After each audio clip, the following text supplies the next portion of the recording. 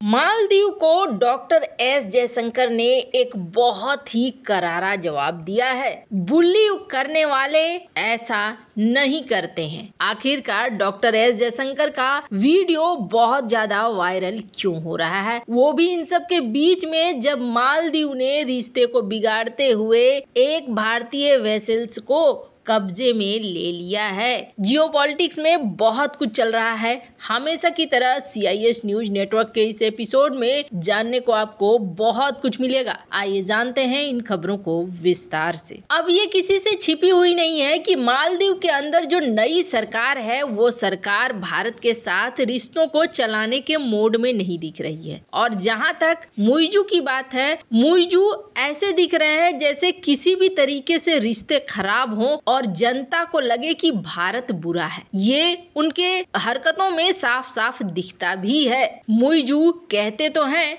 कि हम आत्मनिर्भर बनेंगे। लेकिन आत्मनिर्भर बनने वाली चीज़ें नहीं दिख रही है। ऐसा इसलिए क्योंकि स्क्रीन पर देख सकते हैं आप एक आर्टिकल, जिस आर्टिकल में कहा जा रहा है कि मालदीव और चाइना के बीच में 21 एग्रीमेंट हुए हैं। जब मुइजू और सी की मीटिंग हुई थी, अब जरा सोचिए, कोई बंदा हाल फ़िलहाल में राष्ट्रपति बनता है और सिर्फ़ एक शिष्टाचार भेंट के लिए चाइना जाता है और उस मुलाकात में बीस के बीस एग्रीमेंट साइन हो जाते हैं। अब इसका मतलब साफ़ तौर पर तय है कि नई सरकार अभी बनी है, उन्होंने चीज़ों को ठीक से समझा है, नहीं समझा है, पर पहली ही मुलाकात में 20 एग्रीमेंट साइन हो गए, यानी कि पर्दे के पीछे काफ़ी लंबे समय से एक बड़ी प्लानिंग चलती आई है। तभी तो एक मुलाकात में 21 एग्रीमेंट साइन हो गए। अब इससे होता क्या है, इसमें से कई सारे ऐसे एग्रीमेंट हैं, जिसके बारे में आम जनता को नहीं पता है, यहाँ तक कि संसद को भी नहीं पता है, और इसको लेकर विपक्ष खुद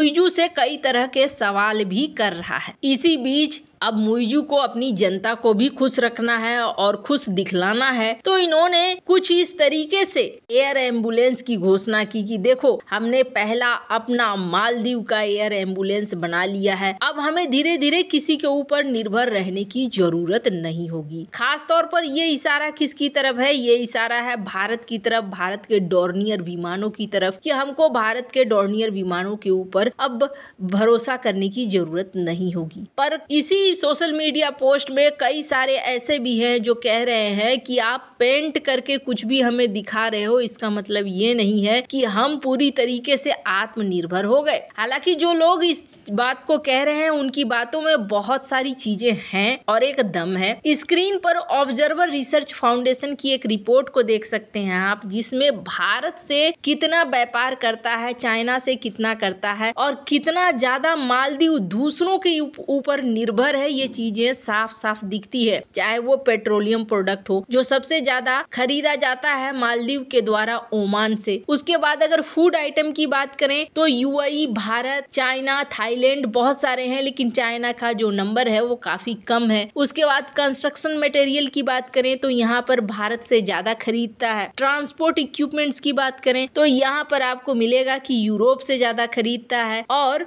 थाईलैंड से, अदर देशों से खरीदता है। ज़्यादातर यहाँ पर आपको दो ही देश देखने को मिलेंगे। एक मिलेगा भारत और दूसरा मिलेगा चाइना। भारत कई सारे महत्वपूर्ण चीज़ों में मिलेगा। चाइना फर्नीचर, फिक्सचर्स, फर्नीचर्स वगैरह में देखने को मिलेगा। पर कहने का अर्थ यह है कि ज़्यादातर इनका सामान खरीद कर ही आता है अपने देश के अंदर। ऐसे में पूरी तरीके से आत्मनिर्भर बन पाने के लिए इनके पास कई सीमित संसाधन है और उसी सीमित संसाधन में इन्हें आगे बढ़ना है। इसीलिए आईएमएफ ने चेताया था मालदीव को और चेताते हुए कहा था कि आपकी इकोनॉमिक कंडीशन ठीक नहीं है, इसलिए आप चाइना के कर्जे पर थोड़ा ध्यान से कदम रखें। आई आईएमएफ ने पहले ही चेता दिया है। और जहाँ तक भारत की बात है तो भारत ने अपने नेवी बेस मिनी कोय को 6 मार्च से, यानी कि 48 घंटे बाद हमारा अपना आईएनएस जटायु पूरी तरीके से तैयार मिलेगा मिनीकोय आइलैंड में। मॉरिशस का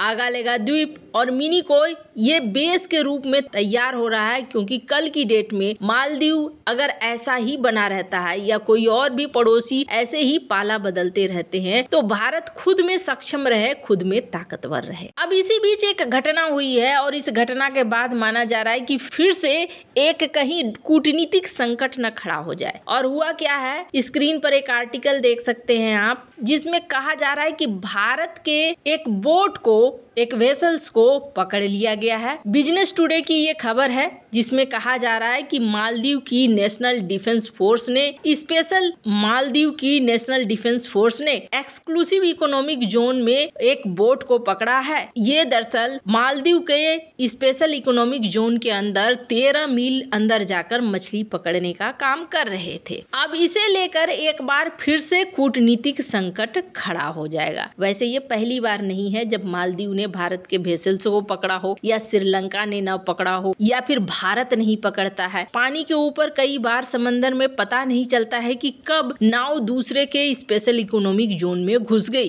और ऐसे में कई बार मछुआरों को पकड़ लिया जाता है। पर ज़्यादातर केस में यही होता है कि फिर उन्हें डिटेन करके, उनके जहाज़ वगैरह की जाँच करके उन्हें छोड़ दिया जाता है। पर मालदीव के साथ एक केस अक्टूबर में भी हुआ था, जिसमें 12 मछुआरों को पकड़ लिया था, उनके बोट को पकड़ लिया था, स्क्रीन पर आप देख सकते हैं। उसके बाद मछुआरों को छोड़ दिया गया, पहले बोट नहीं लाने दिया गया। उनके ऊपर दो दशमलव दो आठ करोड़ की पेनल्टी भी ठोक दी गई थी। तब तमिलनाडु सरकार ने भारत सरकार को लिखा था कि आप इस मामले को देखिए, जरा सा इसे हैंडल कीजिए। खैर, ये एक मौका था। अब यहाँ पर डॉक्टर एस जयशंकर ने मुइजू के एक बयान का बड़ा ही तगड़ा जवाब दिया है। आपको याद होगा मुइजू ने ये कहा था कि किसी को लाइसेंस नहीं मिल जाता है कि हमें बुली करे। स्क्रीन पर इस आर्टिकल को देख सकते हैं। जिस पर डॉक्टर एस जयशंकर ने क्या बयान दिया है मैं चाहती हूँ की ये बयान आप सुने। But I I would say we kind of issues in BIMSTEC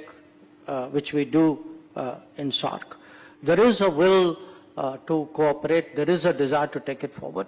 But uh, because I fold into it the, the other question as well, you know, how is India perceived by neighbors? You know, the big change today uh, in this part of the world uh, is what has happened between India and its neighbors. When you say India is perceived as a big bully, you know, big bullies don't provide four and a half billion dollars when the neighbors are in trouble. Big bullies don't supply vaccines to uh, other countries when COVID is on.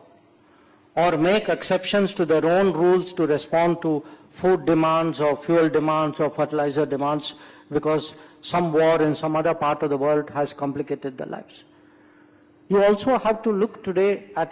Doctor S Jaishankar ने इस बयान में कहा है कि बुली करने वाले देश मदद नहीं करते हैं। हमने चार दशमलव पाँच बिलियन डॉलर की मदद करी। हमने महामारी काल में वैक्सीन पहुँचाए। तो जो बुली करने वाले देश होते हैं, वो ऐसा नहीं करते हैं। वैसे इन सब मामले में आपकी क्या राय है? कमेंट कर ज़रूर बताएँ। जल्द मिलते हैं अगले वीडियो में नई खबर के साथ।